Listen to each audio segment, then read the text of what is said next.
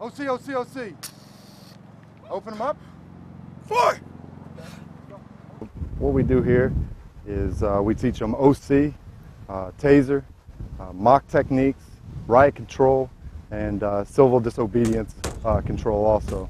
The biggest takeaway that the Marines take from this is A, that they need to read their SOPs and understand what their procedures are set in place for their units. Training a Marine in uh, the capabilities and tactics that we, that we teach in the Marine Corps, and then being able to go back to their units and putting that, uh, putting that word in their commander's ear or their senior staff and CO's ear. You know, uh, that way, if there's a Marine on a BCP or ECP or something like that, uh, they're able they're able to say, hey, I know something that'll make me safer or that'll make this safer. So the, the biggest thing is uh, overcoming the fears.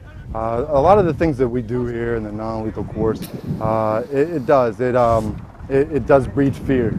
Everybody has to work as a team because if, if somebody doesn't work as a team, then it's going to affect the person to the left and right.